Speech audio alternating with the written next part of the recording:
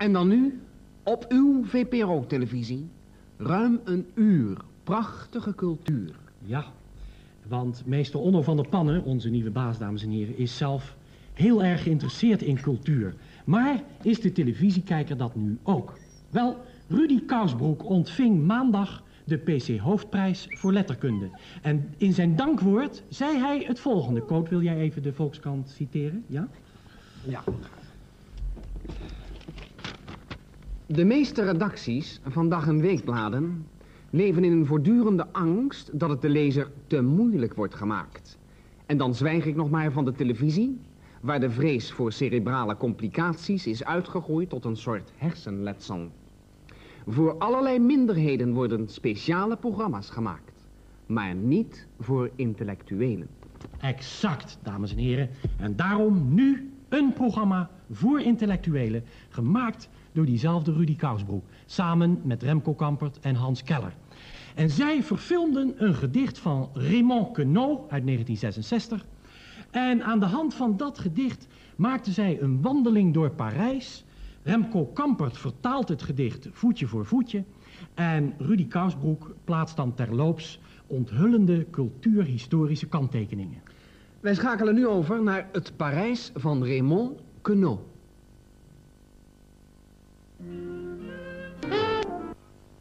Schitterend, schitterend. Dankjewel Rudy Kousbroek, Remco Kampert en Hans Keller.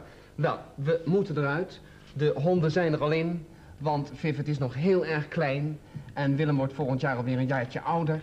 Maar we hopen dat u toch met zulke ogen heeft gekeken naar de VPRO-avond van vanavond. En wij zijn met u ontzettend benieuwd naar het eindoordeel van het interim pakkethoofd meester Onno van der Pannen. Ik zal hem even bellen.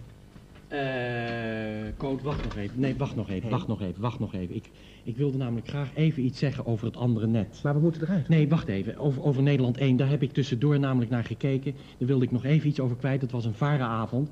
En die heeft me toch wel een beetje triest gestemd. Mag ik er nog even iets over zeggen? Want eh, wat was die varenavond nou?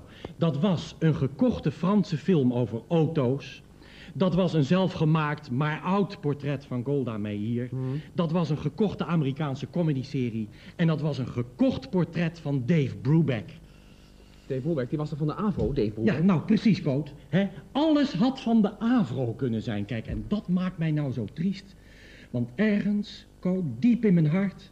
ben ik ook nog een heel klein beetje varaman. Dat mag je gerust weten, joh. Dat is waar. Ja, jij hebt nog bij de VARA gewerkt, hè, Bie? Ja, dat is waar, dat is Ja. waar. Ja, maar toen was Ja. de VARA nog de VPRO onder de omroepen. Begrijp je? Mag ik, mag ik nog even iets persoonlijks Heel zeggen? even Coot? dan met de nog rode even, nog even, nog even. Dat gaat me na aan het hart.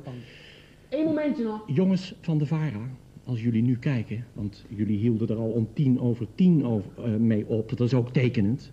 Maar goddank kwam toen het Humanistisch Verbond nog met het enige interessante programma.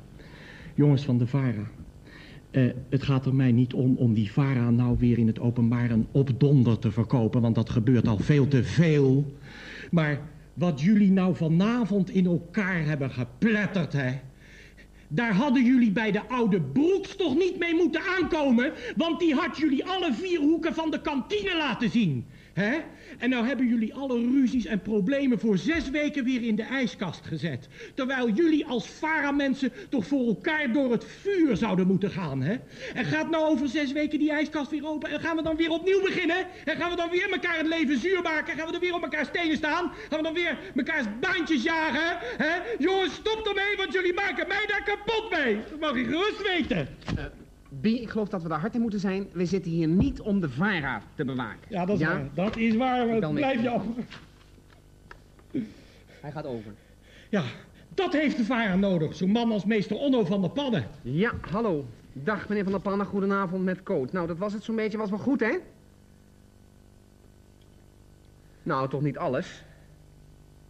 Ja, maar nee, maar ogen, ogenblikje. U wou, u wou Archie Bunker toch zelf niet meer? Nee, dat heeft... Nou, ja, oké. En dan is het dus altijd weer even wennen. Ja. Nee, nee, nee, dat was het gedicht. De wandeling was het gedicht. Het gedicht was de wandeling. Nou, omdat wij dachten dat u zo van wandelen hield. U bent toch voorzitter geweest van de Koninklijk Nederlands Vida... Ja, ja, ja. Maar, maar u houdt toch wel van poëzie? Ja, maar dat is natuurlijk iets anders dan een wandeling, hè? Een voetreis naar Rome. Ja.